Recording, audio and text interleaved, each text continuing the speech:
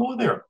I want to use this assignment to give ourselves a little bit more practice doing regression, and then also to talk about mediation analyses as talked about in the book. So let's get started. I'm inside of Jamovi, and I want to open a data set. There's three data sets for this particular assignment.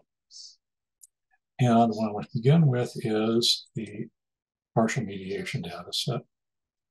The first thing you might want to do is a simple multiple regression. Uh, to do that, I'm going to go into the regression module, say linear regression, and I want to predict well-being from deep talk and social ties. Here are my coefficients. If I want, as before, we can look at the standardized estimates as well and those confidence intervals. and as I mentioned, often when we have variables that have different scales, different variances, we look at the standardized coefficients rather than the unstandardized coefficients. But what I want you to do here is to notice that I've got the estimates of 0.48956 for the deep talk unstandardized estimate and 0.61827. Okay, let's go in and do a mediational analysis here. To do that, I'm going to come up here to the top and access the mediation module. If you don't have this, click on that tab in Jamovi and you'll see that you can install that module. So, mediation. This layout is pretty much the same as for regression. We are going to be interested in dependent variable of well-being and deep talk being the predictor and the mediator being the number of social ties. And I might be interested in looking at the plot estimates and confidence intervals and the labels. So this maps onto the diagram that you see in the book.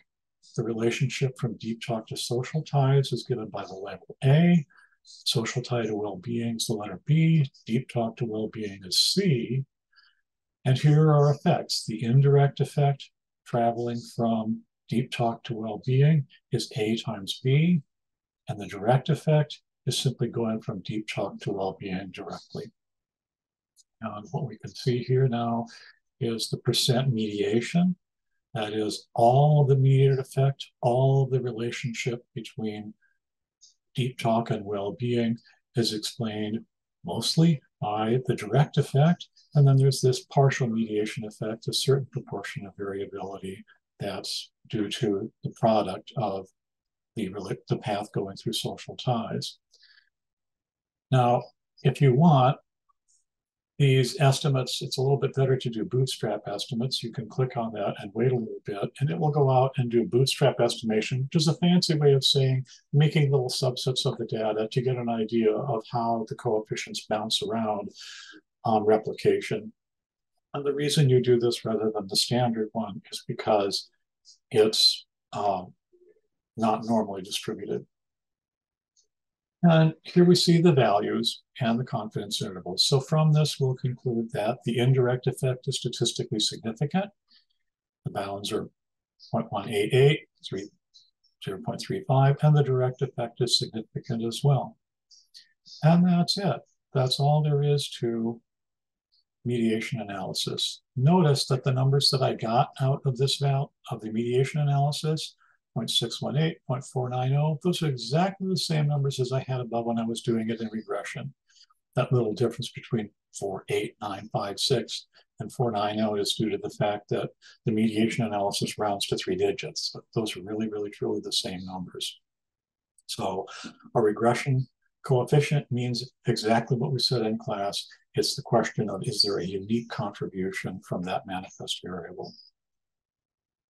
Okay, let's look at a second case.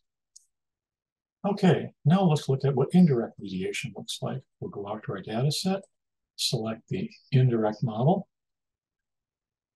That will show us these data. If we want, we can do a regression here. And we can again predict well-being from deep talk and social ties. And we notice something interesting. All of a sudden, deep talk doesn't seem to be doing anything directly. Social ties does. Let's look at this in terms of a mediation. well-being is our dependent variable, our mediator is social ties, and deep talk is our predictor variable. Well, now that we're looking at this, the direct effect that 0.0510 is not statistically significant. We can look at our path estimates, which are again the unstandardized regression weights, except there's a regression weight going from deep talk to social ties. And we can look at our path estimate and the percent mediation.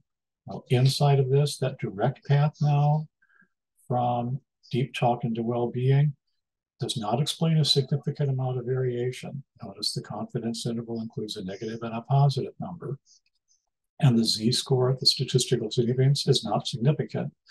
So, and the mediation is much smaller. So in this particular case, we would say all of the relationship between deep talk and well-being seems to be accountable by the indirect effect through the social ties variable.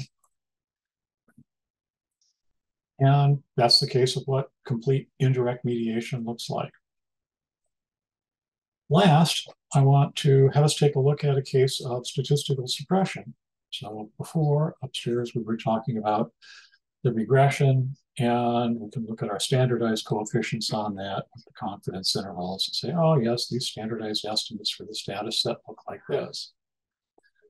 Let's consider a case of what suppression looks like because I had mentioned before that it's possible for standardized coefficients in a regression to not, when you have more than one variable, to be bigger than one or smaller than minus one. So here's an example of a data set that shows that. Do is we'll come in and do our regression to see these things happen. Here's well-being our dependent variable and our two predictor variables. It runs and then downstairs, if I want to take a look at the coefficients and get the standardized coefficients, here they are. Well, this is kind of odd. Look at the standardized estimate for deep talk. It's 1.5474.